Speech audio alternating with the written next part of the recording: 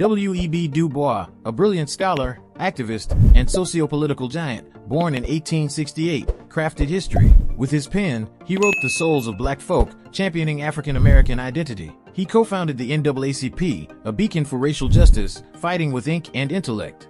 Du Bois believed education could dispel ignorance, daring to dream of a world where skin color mattered as little as a passing cloud shade. A thinker and a doer, Du Bois shone in the sea of racism, reminding us that work should be for the glory of one's craft, not just pay. His intellectual gem still sparkles in American history.